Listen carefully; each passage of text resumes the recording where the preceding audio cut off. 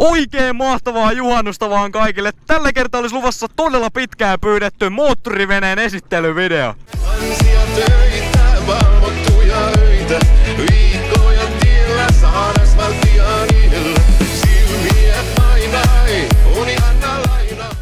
No niin, nyt ollaan tosiaan vene soudattu tänne järvelle ja kypärä on vedetty päähän ja seuraavaksi pistetään vielä vähän rähjääntyneet tota, ammattisoutuvene hanskat käteen ja tota, seuraavaksi lyödään täältä tämä näkäinen tohatsu tulille. Nyt polkastaan sitten tämä veneilyvideo käyntiin. Tästä lähdetään nyt sitten tonne uloppaa kohti tällä soutuveneellä, mihin on lyöty tämmönen erittäin jumalallisen tehokas moottori. Tää on ihan suoraan kisaveneestä varmaan, tehojensa puolesta ainakin. Tosiaan vähän tää vene nyt keulii, kun tota hieman on kohtalaisen vähän painoa täällä, mutta hyvin tuntuisi kuitenkin täällä taittuvan näillä aalloilla.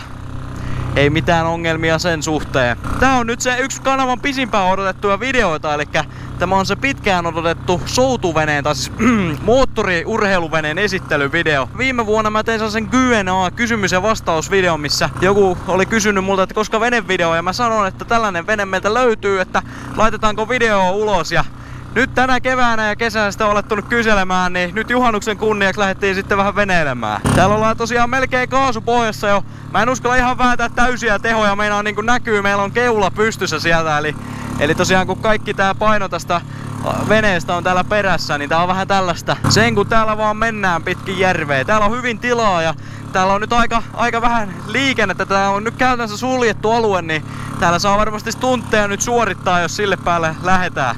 Tosiaan äsken tässä joku veti moottoriveneen perässä semmoista tota, tota, tota, mikä pulkka vai mikä vesilelu se oli, missä joku, joku roikku kyydissä. Niin hurja leluja ei meitä löydy, mutta kyllä tääkin aika, aikamoiset kyydit tarjoaa tää, tää soutu moottorivene moottorivene. Tosiaan mä esittelen nyt tähän väliin vähän tätä paattia. Eli tää on tällainen erittäin hieno suomalaista käsityötä oleva vene. Onko tämä nyt nelipaikkainen tällainen?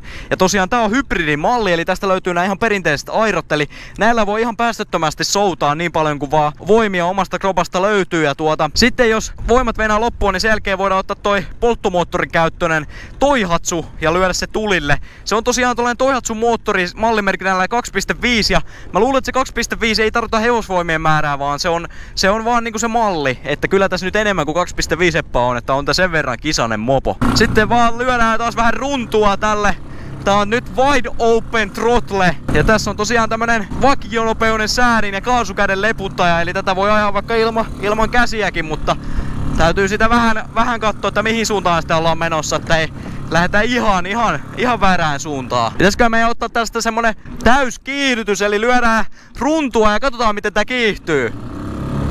No niin, siinä.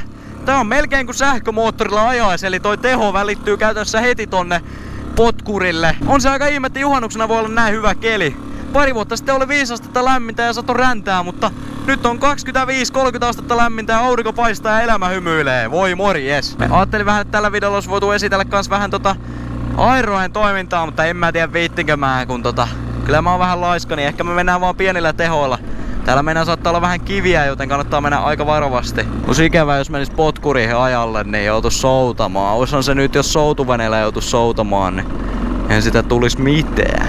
En tiedä, onko tää nyt 50 vai 70 cc vai mikä tää moottori on, että täytyisi tätä vähän ehkä virittää. Kyllä mä luulen, että 15 heppaa olisi aika hyvä määrä tähän, että tässä taitaa olla nyt se mopo on sallittu kaksi heppaa ja onhan tää vähän tämmönen nuhapumppu näillä tehoilla.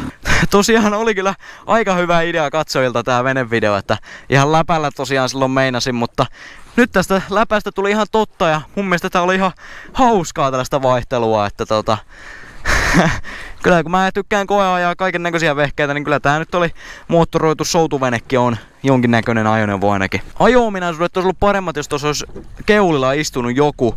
Kun tää vähän keuli tää vene, mä luulen, että se vähän hidasti. Mutta ihan tarpeeksi toi kulkee. Oikein mahtavaa juhannusta nyt vaan kaikille ja toki jos ette ole käynyt ikinä vaikka just soutuveneellä vetämässä vesillä, niin suosittelen käymään. Että ihan tää soutelukin on tosi rentouttavaa. Että muistakaa tosiaan ottaa juotavaa vettä tai vaikka kokista mukaan. Ja sitten vielä tällainen pelastusliivi päälle, minkälainen mulla on tämmönen. Tää on suoraan jostain vaatemallistosta varmaan otettu niin siistin näköinen. Mutta muistakaa se tosiaan, että vesillä liikkuminen on ihan mukavaa ja turvallista hommaa ja kavereiden kanssa vielä hauskempaa. Että mä lähden tästä varmaan juhannuksen viettoon, eli otetaan tosta kaverit kyytiä ja lähdetään varmaan kohta puolin souteleen tonne järvelle. Mutta tämä oli tosiaan siis Juhis Racingin juhannusspesiaali 2019, eli soutuveneen esittelyvideo. Toivottavasti tykkäsit videosta, ei kai siinä.